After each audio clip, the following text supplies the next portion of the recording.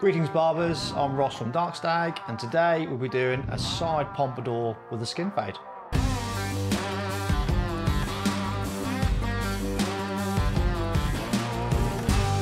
So today we're doing a side pomp with a skin fade.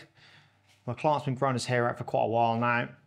So again, we're going to start with the prominent hair growth pattern, which in this case is the crown. I'm just going to split that from the crown to the recession line to create a natural split. This is where the hard part is going to naturally want to sit to map out the first point of our haircut.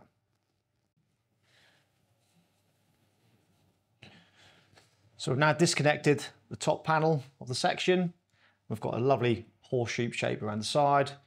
I'm now going to put my first guide in and we're going to work around from one side to the next, keeping my knuckles close to the scalp as we're going for the skin fade. This is my block graduation guide for the whole haircut.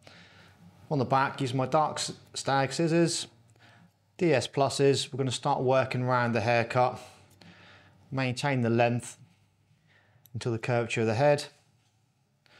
Just removing some of that weight now. When we start get, flashing this out, we're going to start creating some diagonal sections and start building up some weight.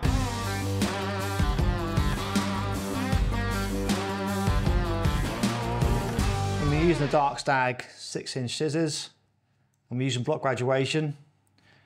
We're not pushing the hair from the end of the blade, the V of the blade, we're using the last two quarters of the blade. We don't want to over direct the hair too much, pushing it that way. You're to start building up too much weight. When it comes to tension, we're not going past the knuckle either. We're stopping on the second line, the finger is a knuckle. One for tension, and two, we don't want to cut ourselves either. DS Plus offset is available in six and seven inch, as well as the thin shears as well. I'm opting for the six inch today. I tend to use smaller scissors for more precise work, larger scissors for scissor over comb, so whatever suits you as a barber. So I'm now thinking about shape over length with my block graduation. When the head starts to curvature from the occipital to the ears, I want to create a nice horseshoe. From the ears forward, we can decide, do you want to go round with it or do you want to create graduation? So with a pompadour, we're creating graduation. Whatever comes out this way, you're going to stand up and fold it on itself that way. So create a nice triangular shape vertically and horizontally. Change the angle of the comb. Create that nice graduation. Leaving that front a little bit longer for the pompadour style. Blunt cutting today rather than too much texturizing. So I want to maintain a little bit of heaviness and shape to the hair. So I don't want to break it up too much of these styles. We're still creating a little bit of an angle on that front. We want to sit slightly triangular through that corner, slightly squarer for over direction. And again, I'm using blunt cutting technique just to build up weight. I don't want to remove too much, too much weight as yet. So what blunt cutting does, it doesn't add any texture to the hair whatsoever. We're keeping it completely flush.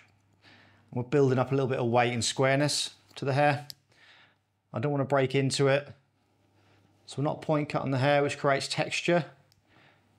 We're keeping the hair nice and square. We're coming straight across with it for bluntness and for heaviness.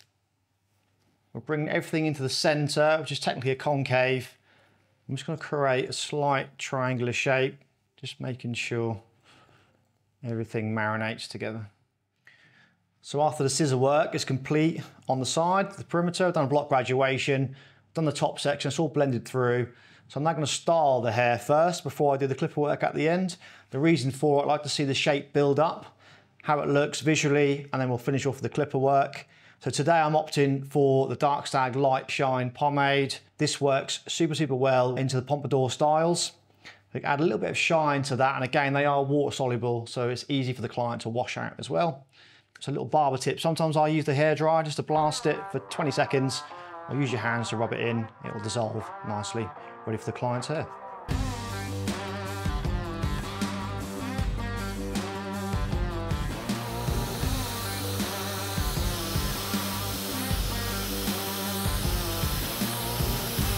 Just finished blow drying the hair, so we're all prepped, ready for the sides. As you can see, the hair's already prepped.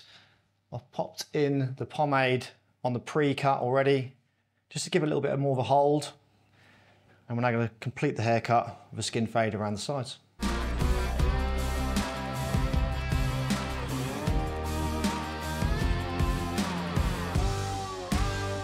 So we've just completed the, the skin fade using our dark Darkstag DS 6 inch scissors. I'm just going to do a little technique called picking. So I'm just going to pick into the fade the tips of the scissor just to get rid of any fine lines or anything that looks a little bit heavier. So just now going to soften down that blend a little bit more. I'm now using the Darkstag DS Plus thinning shears. They come with 32 teeth using this to soften the blend down a little bit. We're coming in about three quarters of the hair's depth and we're just then pulling, pulling the hair out just to soften that down. We're not going to shatter it too much. Okay, so that's the haircut complete. We've cut the top with our DS Darkstag plus scissors. We've then created a nice skin fade shape, dropping it down towards the occipital bone. And the choice of product today was a Darkstag pomade. The reason for that, I want to create a little bit of shine and it gives a little bit of structure to the hair when I'm styling it as well. I don't want it to be too floppy after we shampoo it, so it creates a little bit of structure so I can then mold it and manipulate the hair into a shape that I want to achieve.